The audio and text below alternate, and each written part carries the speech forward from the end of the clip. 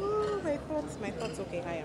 So uh, during the Loop Forum 2023, one of the biggest issues that came up was the slow implementation of policies uh, with regards to climate change. Is there anything that has changed, and can we see uh, policies now being fast-tracked and being implemented for manufacturers?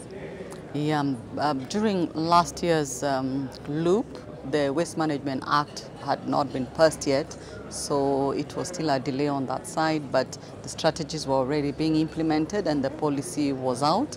Um, also, there was a review of the water policy um, and the SDG platform that was looking at integrating SDGs into uh, you know, government work and private sector work. And also the Climate Change Act was undergoing a review in how then it can be implemented. The, guide, the regulations were not out, they're still not out, so there's still a lot of discussion on that. The waste management regulations are still not out, but we are actively engaged in developing the regulations so that they are pro-business they are not hindering uh, uh, circular solutions. For instance, moving waste from one uh, uh, factory to the next factory used to cost money, which was not necessary. Um, you have to pay for the waste, and we're looking at how do we encourage people to buy waste from each other so that they can use it as a resource. So some of those um, uh, policies, um, now we are consolidating them to make them work uh, for business and also for the Kenyan communities.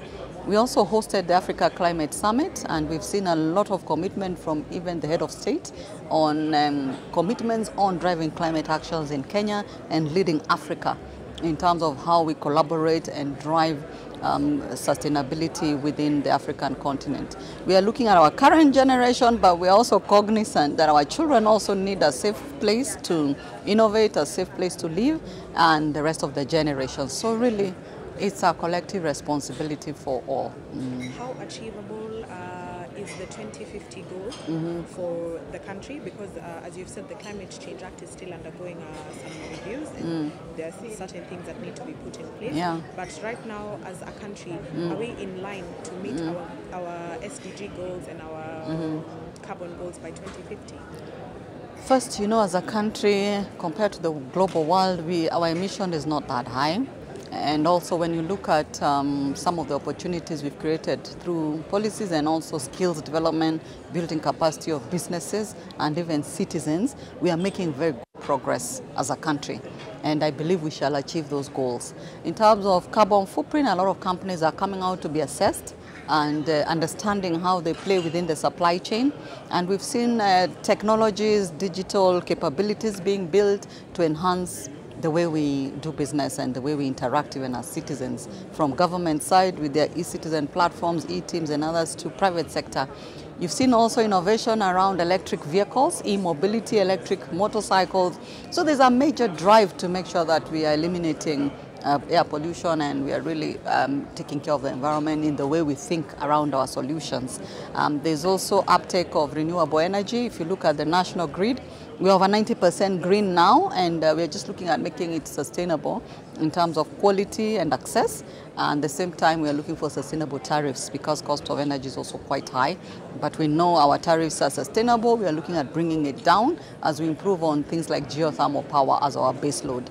So there are many opportunities for going green and investors can comfortably come to Kenya just by virtue of saying our grid is green. Yes. Yeah, and many other practices at business level uh, that we're incorporating to make sure that uh, people are more conscious of responsible use of natural resources and how we consume products responsibly, how we dispose them, and so that you're not producing for necessarily disposal, you're producing for recycling, for reuse, or for upcycling, like I mentioned.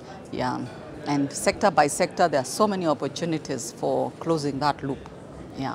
Uh, lastly, as we finish, uh, private sector has a key role to play uh, with regards uh, the fight against climate change. Are there any initiatives that the Kenyan or the country is likely to benefit from this forum today? Yes. Um, in Kenya and even through KAM, we have the Center for Green Growth and Climate Change and also our environmental committee that at the board level where we are driving climate action.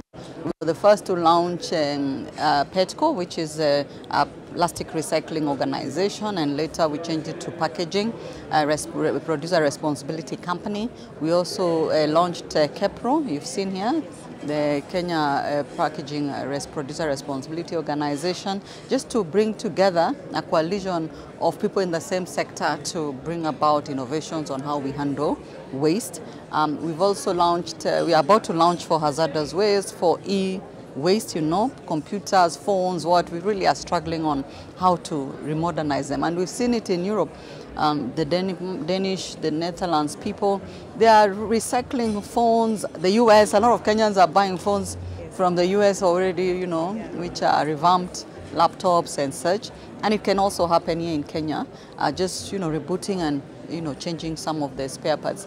But we're also encouraging from design stage how uh, manufacturers and other producers can design with that knowledge in mind, either for long-term use. You remember some of our parents, uh, they kept, so, you know, like sofas for many years. They were not going bad. That was part of circular economy. You don't make things to break the next day. They can stay long.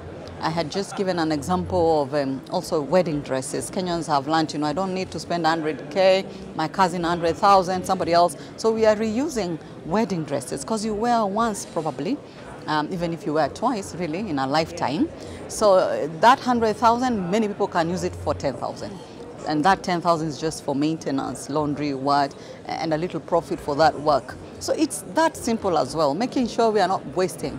If you're coming to town, you can find in one home four cars have left her homestead, which is not necessary. Yeah, people can carpool, and we're looking also working on rapid transport system uh, and supporting government to look at populated areas. The railway lines came in, but still we find that there's over-reliance on personal vehicles, which increases the cost of fuel per person.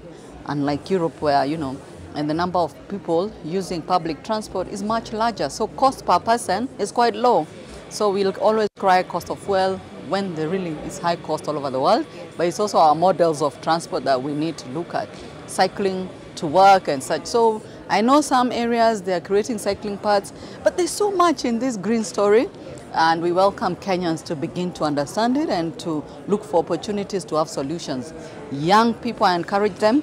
These are places for new jobs to just be a green field, new innovations. And um, a lot of people don't even know what to do with their waste. If you innovate around it, you'll be so surprised at how you can get very good uh, business models and begin to be meaningfully engaged in this country.